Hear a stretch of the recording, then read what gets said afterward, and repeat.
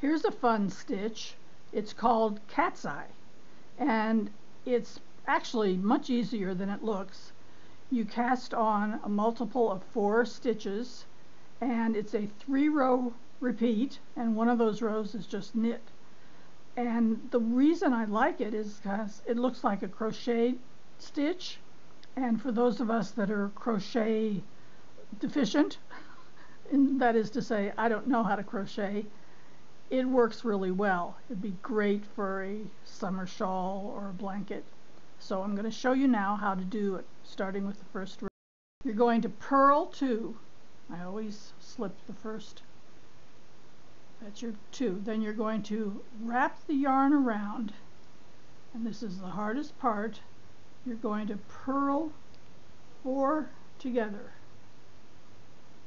like so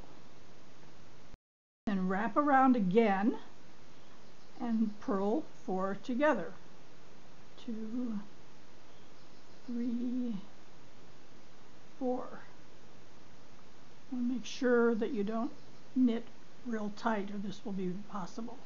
And you just repeat that all the way till you have two stitches left. Wrap around and purl four together.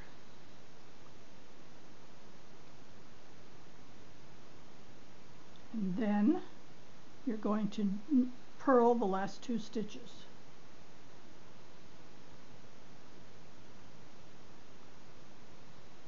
So that's row one. Now we're ready for row two. Turn the work around. You're going to knit two.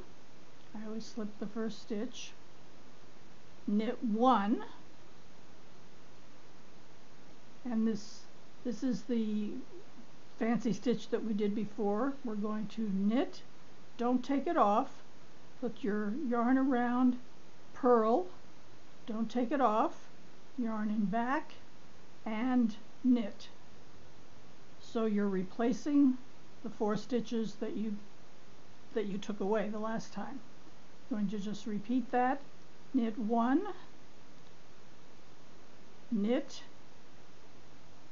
yarn in front, purl, don't take it off, yarn in back, and knit. And that's your repeat.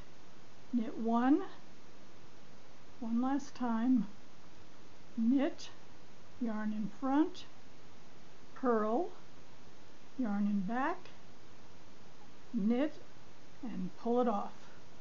And then knit the last two stitches. So that's row 2. Now comes the easy row. This is row 3. You're going to knit every stitch. Easy peasy. And these three rows make up the repeat. And you repeat these three rows for as long as you want your piece to be. Like I said, it would make a great summer scarf or shawl I would actually use a thinner yarn for summer and for a, a really nice baby blanket with a nice worsted yarn. I think it has a lot of uses. So that's it. That's the cat's eye stitch and I hope you'll give it a try and you know what to do social media like comment etc etc and till next time happy knitting everyone